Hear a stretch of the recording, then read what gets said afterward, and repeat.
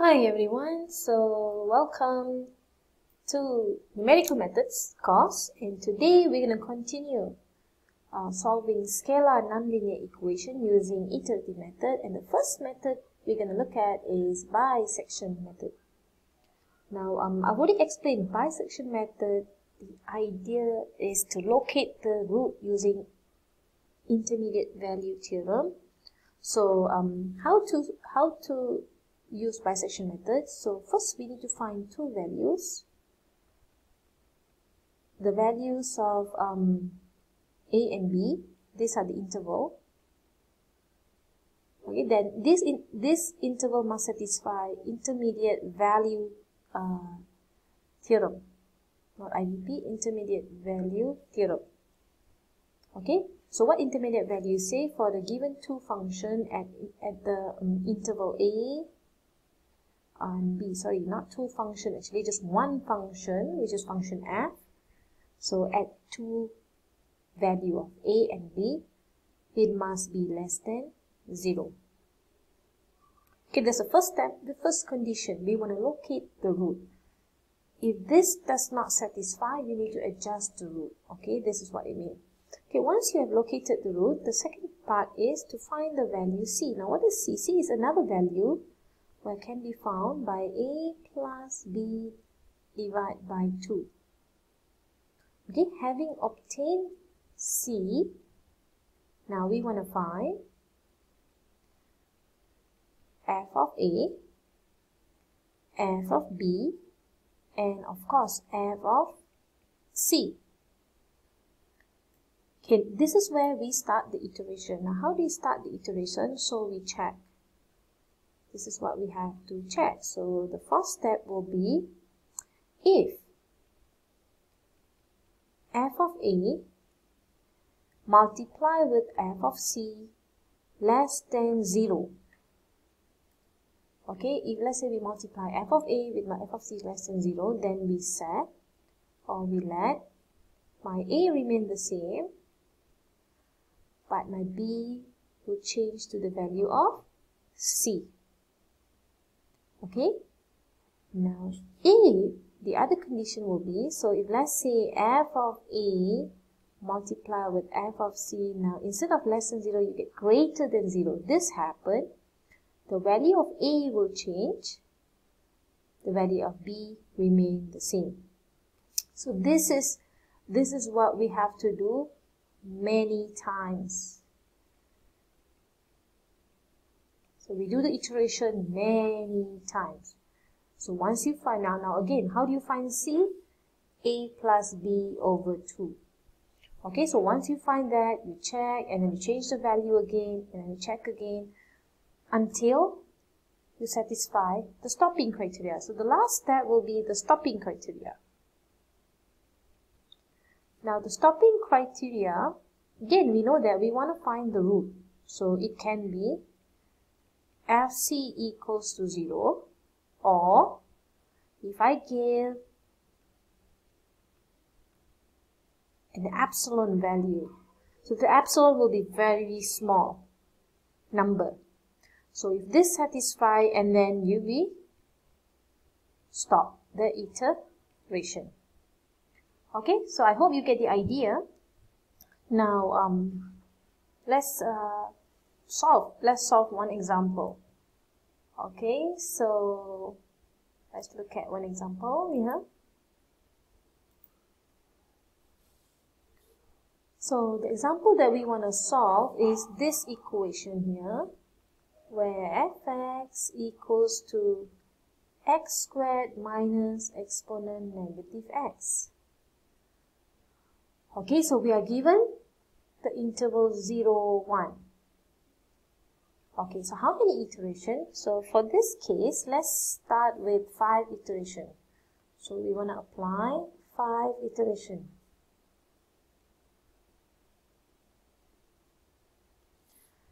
Okay, so what we know here, we know that this is my A and this is my B. So we want to find the solution when this function here equals to 0. So we want to find the root. At this moment, We don't know. This is nonlinear equation. We cannot use um, any method that we know to find the root. We can only use iterative methods such as bisection method. Okay, so let's check whether the root exists. It's very important to check whether the root exists.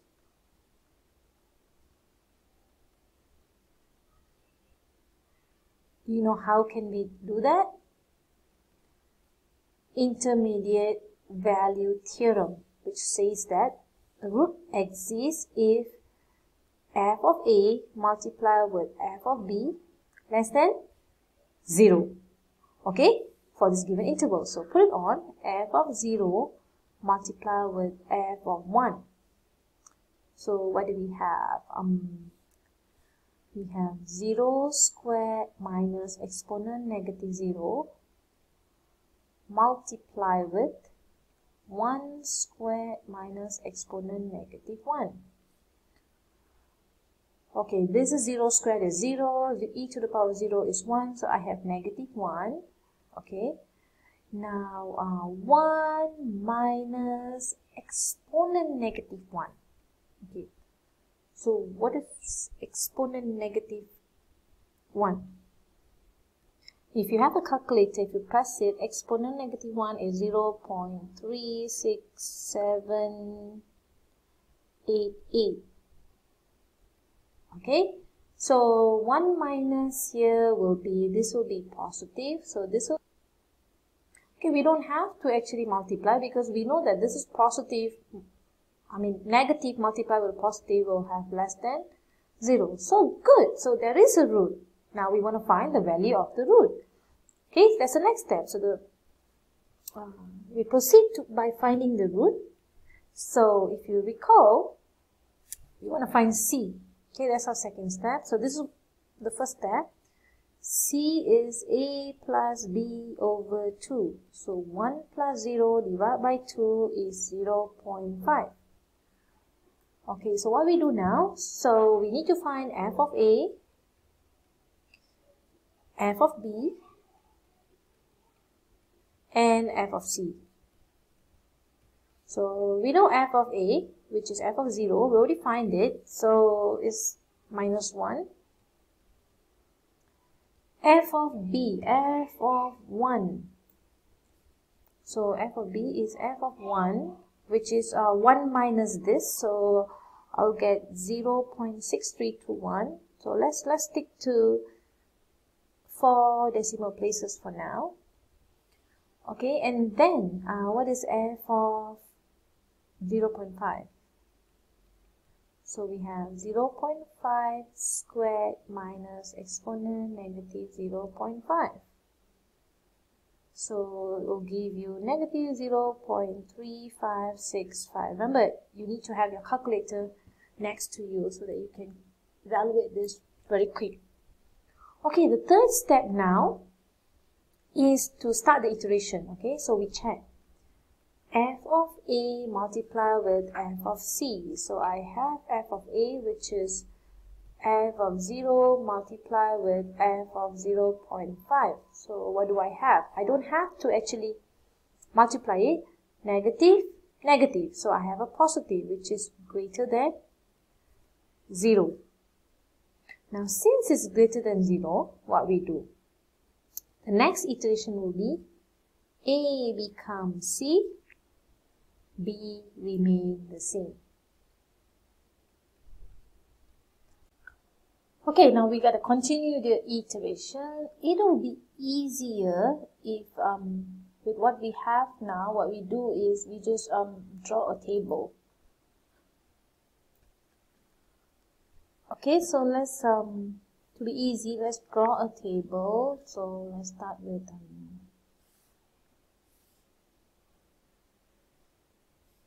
so this is my k iteration so I think we need at least um, 7 okay so I have my A B C and then F of A F of B and F of C Okay. So, the first iteration just now is start from the interval 0 and 1 with my c equals to 0 0.5. Now, I have obtained my a, b and c value where a is minus 1, b is 0 0.6321 and c is negative 0.3565. Okay, it's easy to check here. So, we know that fa times fc, negative, negative greater than 0. So A becomes C. So for the second iteration, A value here will become a C. And B value remain the same, 1. Okay, so what we do here, now to find C, A plus B divide by 2. So 0 0.5 plus 1, 1.5 divide by 2 will be 0 0.75. Okay, now press your calculator for f of 0.5, which is this value here, negative 0.3565. Now, b remain the same, 0.6321. Now, all you got to do is find fc for 0.75. Okay, so we know that, um, so x squared, this is my function, x squared minus exponent negative x. So for my x is 0 0.75, 0 0.75 squared minus exponent negative 0 0.75. So if you press the calculator, you will have 0 0.0901. Okay, now the second iteration, the same process, we do that. FC multiply with FA. This multiply with this, so we have a negative value. Now, if, if it is less than 0, A will remain the same, B will become C.